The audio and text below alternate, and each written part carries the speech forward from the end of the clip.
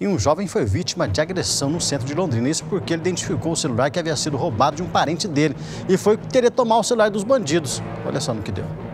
O jovem, de 22 anos, foi atendido pelo CIAT em casa. Elber Américo de Oliveira foi violentamente agredido na cabeça quando passava pela Praça da Bandeira, em frente ao calçadão, em plena luz do dia. O rapaz chegou a ficar desacordado.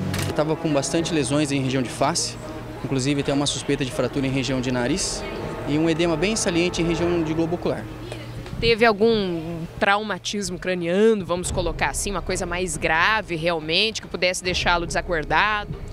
Que agravante não, mas ele teve um traumatismo assim, um TCE, que inclusive ele ficou um pouco, é, ele perdeu um pouquinho de, né, da consciência, ficou com um pouquinho de amnésia, mas nada agravante. O crime aconteceu porque Elber afirma que reconheceu o celular do cunhado dele roubado na tarde de terça-feira aqui perto. Segundo o rapaz, o aparelho estava com três homens que fazem troca e venda aqui na praça, a famosa Gambira. A agressão aconteceu porque Elber teria tentado tirar satisfações. Na praça, ninguém quis comentar o assunto.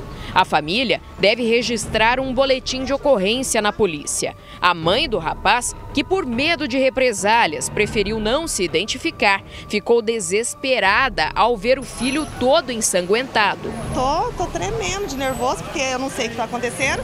Ninguém parou ele ou não falou, fica aqui, vão chamar o SIAT para ele veio de lá aqui pingando sangue. Já o cunhado confirmou que, pelas características repassadas por Elber, o celular seria mesmo o dele e os bandidos, os mesmos agressores do jovem.